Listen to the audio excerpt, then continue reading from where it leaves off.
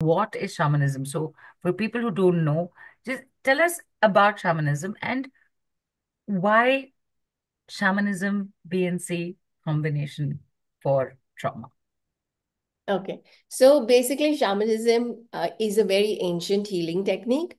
It's about 10,000 years or more. Um, it is originated from uh, Siberia, from the Tungus tribe. And to be a, actually a shaman, you have to be born into the lineage of the shaman.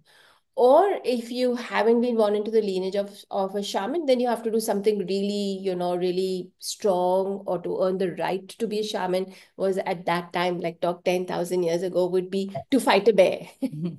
so we aren't going to do that. So we are all the new new age shamans where we now and this was not available to everyone shamanism was was a very coveted uh, actually technique and uh, a, a shaman sees in the dark and, and this is why we practice shamanism. So when we practice shamanism, we close our eyes and we train our third eye to see in the dark. So in when I actually see information, I don't really see see. I actually experience. Okay, I can actually feel all of that.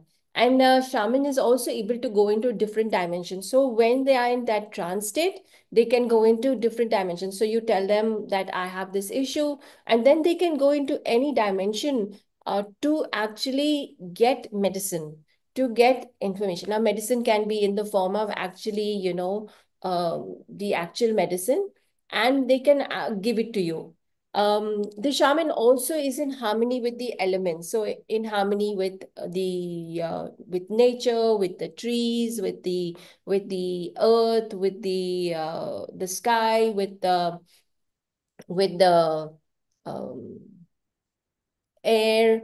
Uh, and so by going and traveling up from every this, they can get the information. So they actually had a lot of information about uh, the, the state of the place, how it is, what's going to happen. So a shaman it can go into different realms, different dimensions to get the information required. Now, physical realm is as we know it. We are here, we are on the physical realm.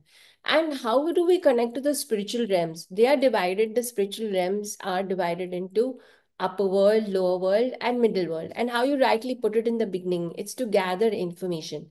So generally, shamanism is the ability to actually enhance your spiritual journey, to come to know you, to get more information about you, your life, your world, and to give you that ability and the harmony to actually go through anything. And this is why we love shamanism. You know, when we are doing our talks on Mystic Lotus, we'll go and do a shamanic journey. What do we need to talk about? You know, what are these topics? And then even we come up with a topic, then we're like, what do we need? How do we go about it?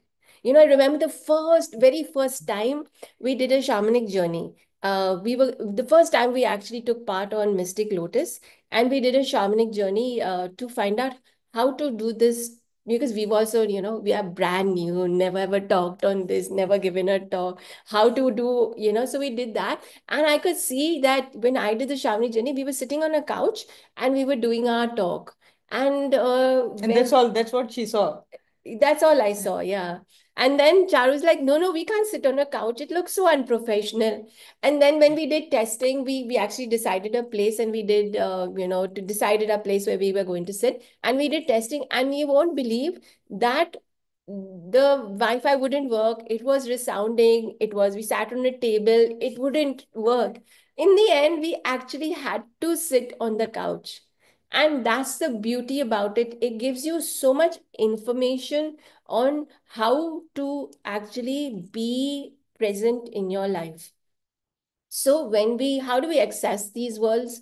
Uh, previously, the shamans would drum, they would go to sweat lodges, they would do a lot of rituals, drum, drum, drum, and then they would go into a trance. And when they were into a trance, they could actually access whatever information they this. But you know, things are easy for us. So AirPods, drumming music, go in your ears, and it gets you into a state of actually trance, which is really very nice. And uh, that gives you the ability to travel. So we have the upper world and we have the lower world and we have the middle world. When you go into the upper world, you actually meet your spiritual masters, spiritual teachers, your guides, loved ones who have crossed over. Uh, and when you learn the course, we will, I will teach you how to connect with your own personal spiritual teacher. We all both have our own spiritual teacher and we get different information. And the spiritual teacher can give you advice as well as healing, you know, and whatever you want. And then in the lower world, you get to meet your power animal, uh, ancestors. And again, in the course, we will teach you how to connect with your very own uh, power animal. And of course, there is on today's call as well a wee bit of, you know, uh, let's say preview of your power animal. Um, my power animal is a panther and a dragon. And what's yours? Spotted deer. A spotted deer. And so we use our power animal. spotted deer.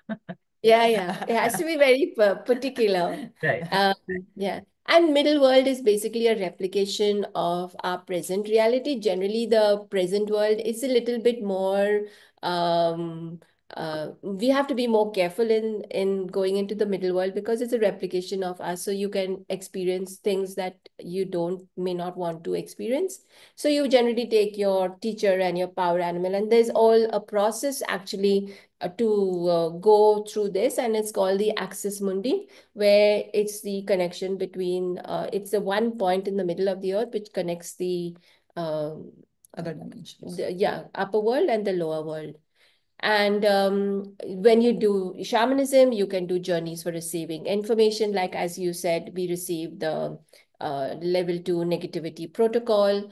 Um, and then uh, the when we do the um, when I teach, we do a very special curated meditation because we're talking about dimensions and uh, we need to access these dimensions because each of the dimensions have information that we can use later on. So you basically go and experience the dimensions through a certain way of med meditation, and then you are able to uh, achieve whatever you want. Uh, you can have receive healing, you can receive guidance, you can ask about the future. You're going to a city, you can go and visit the spirit of the city and say, you know what, I'm coming to visit. Make it a very happy journey or productive. Any issues that you have, health, wealth, marriage, uh, relationship, etc. So that's the shamanism in a nutshell. And Charu, you want to tell about the BNC miracle method? Yeah, I'll tell about the BNC miracle method now. No, So- sorry. Wait, wait, I'm so sorry. I'm going to come in, Charu, before you you explain the BNC miracle method and tie it in with this. A question has come in for Shamana. So just asking you this very quickly. So are there any spirits involved in this therapy? Is asking Sayong. No, there are no spirits. Basically, we aren't doing anything negative if you talk about spirits. You do connect with your teacher. We are only talking about the purity of the world. Uh, we are not talking about uh, uh, this. But you know, you can in shamanism, let's say, um, uh, you know, Cleopatra, she had uh, beautiful skin. She would bathe in oil. She had uh, the perfume.